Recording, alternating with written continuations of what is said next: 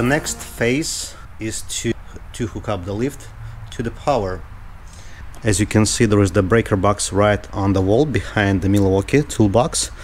So I'm gonna uh, go up. Then I'm gonna go all the way around there. Come back to this post and go back somewhere here I did install this additional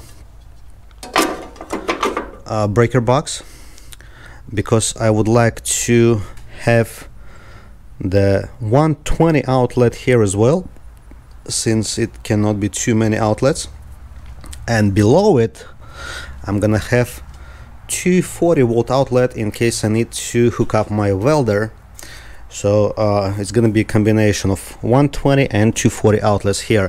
This breaker box is gonna work only for 120 volt outlet because the main uh, breaker for the you know lift and 240 outlet gonna be inside the box on the wall. Uh, later on most likely I'm gonna install one more emergency shut-off switch for the lift because I heard rumors that the lift may run away in case this uh, button gonna stuck. And uh, pretty much there is one more cutoff switch right on the top once the car hits this bar but you know you you don't want to take a chance. So if you know that the the button is stuck you would like to uh, you know cut off the power right away and not waiting until the car gonna hit this uh, limit switch on the top. So that's the game plan uh, so yeah that's already installed. And uh, when installing something onto the lift uh, you drill the, the holes but you need to drill them carefully because on the opposite side inside the lift there are those sliders going up and down. Uh, and as well right there in the middle there are those kind of notches uh, that actually holds the the the arms in place. So you don't want to have some something too deep otherwise it's gonna catch those notches. Not good. Um, and remember I told you it's a next step not a last step because I still don't know if the motor is working or if the cylinders are, are leaking or not. So hopefully everything is, is fine with this lift and there are gonna be no more any additional expenses in repair Uh, so without further ado let's let's continue with installation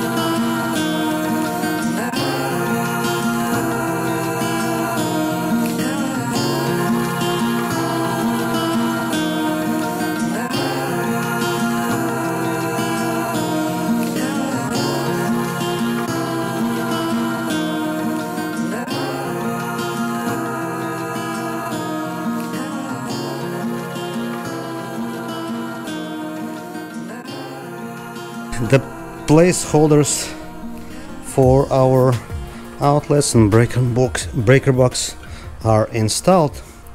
So the next step is to run the conduits all the way to the top and somehow to route it uh, around there. And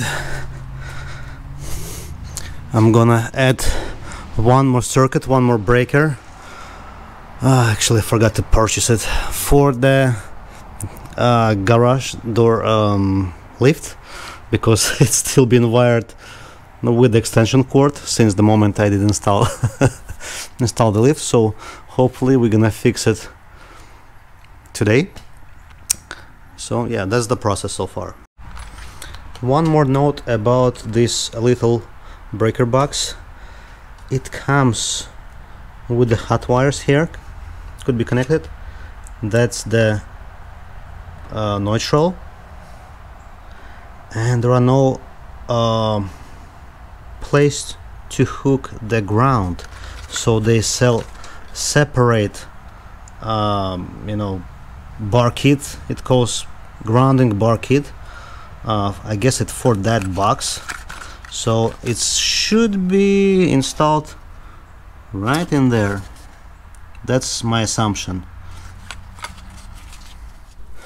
Okay I managed to wire the 240 outlet here on the lift. I mean I just wired till the till the panel here. So uh, there are two hot leads black and red and there is the ground lead here the green one. There is no natural uh, neutral wire in here and as you can see those wires are coming here. They're simply passing the 120 uh, volt future outlet.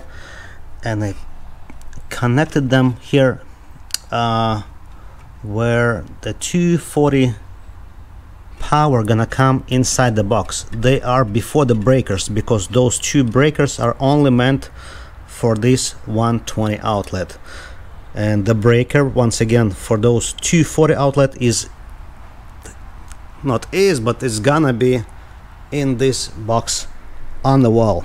I am just trying to mock up the wiring in this area first. So the second part gonna be 120 outlet which gonna run from here up to those breakers. I just finished the hookup of that lower portion. Um, so once again red and black are two hot wires going to this 240 outlet and they're going all the way here on the top um, where they're gonna meet with the wiring coming you know in the conduit from the top. So this is 120 outlet and those two are separate circuits. One circuit second circuit and respectively they are using uh, two separate breakers for the left circuit and for the right circuit.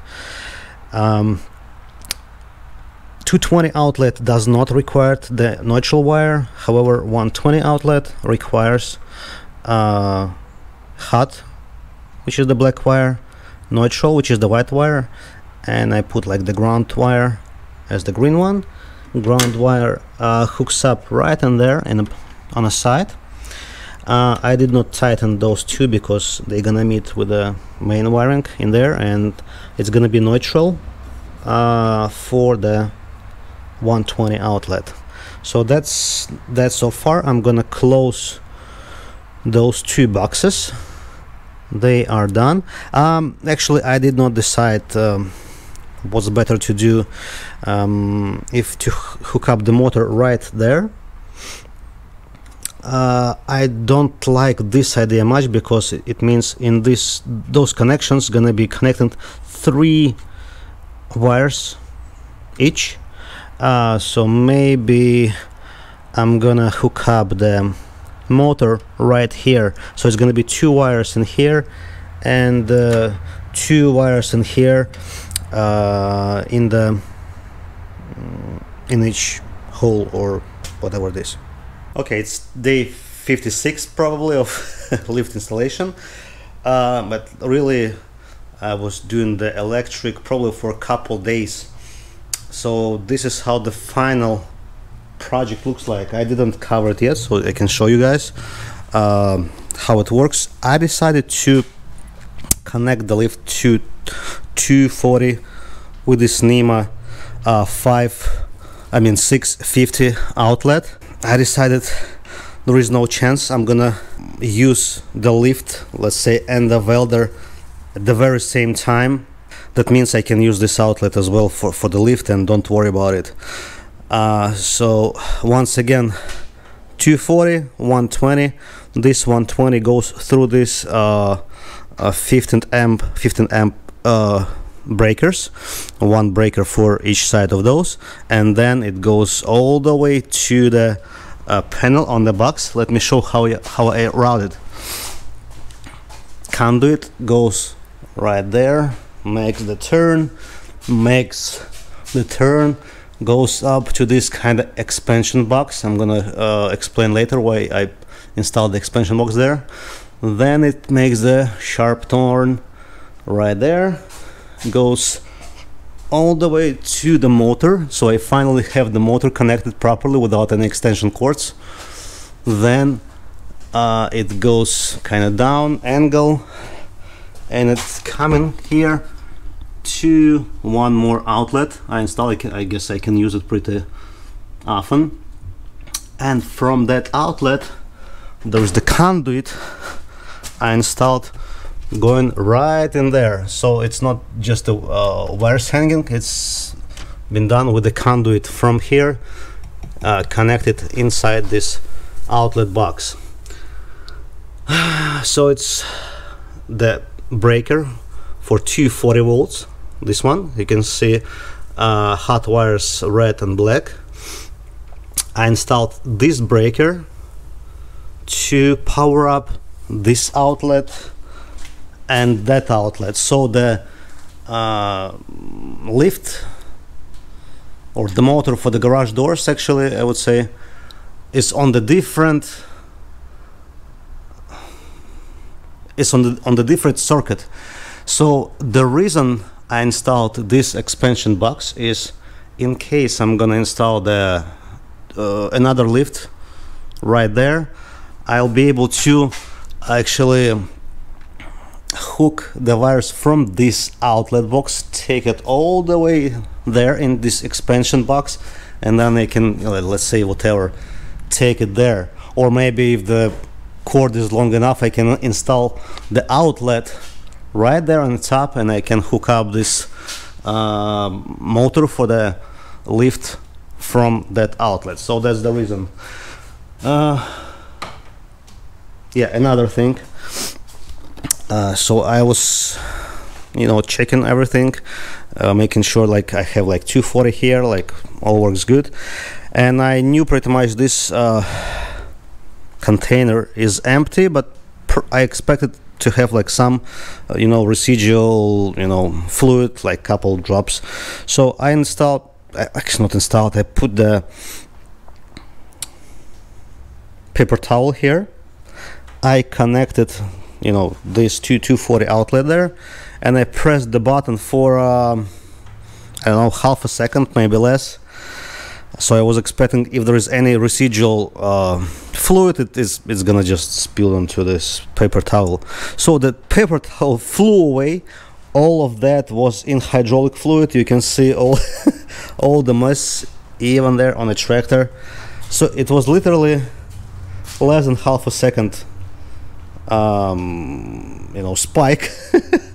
So yeah i can uh, confirm the motor is running throwing the the fluid. So the next step i'm gonna do is i'm gonna disconnect the hoses from the from the cylinders and i'm gonna use my compressor to uh, kind of purge them from any you know debris they may have like from being manufactured or fabricated uh, so I'm gonna uh, kind of connect the compressor in here and it's gonna blow the air you know from from this side and from the other side. So that's my game plan. And uh, by the way in regards to the cost of the materials I used uh, to make this outlet for the lift. I guess I am somewhere in 300 bucks roundabouts uh, give or take. Probably the most expensive part are the wires.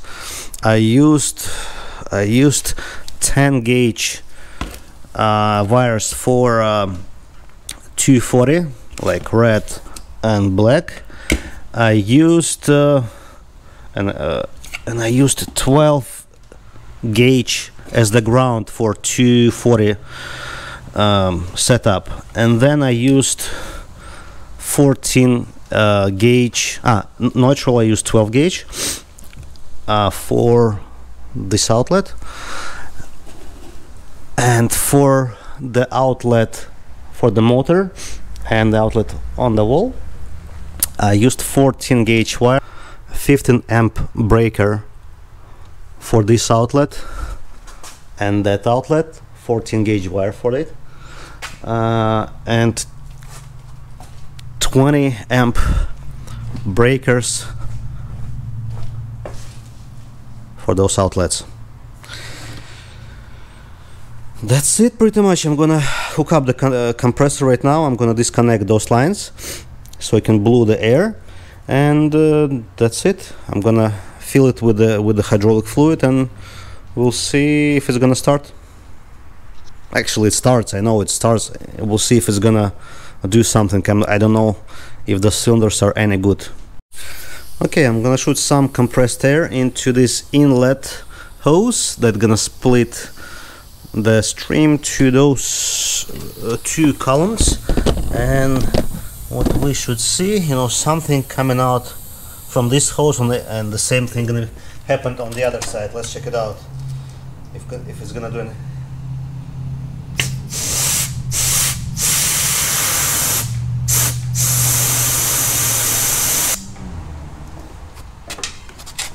I guess this should be enough. If there were any debris if there was any debris it's probably, probably already flew flew out. So I'm gonna go ahead and connect those hoses back fill out the reservoir with the fluid and we'll see if it works.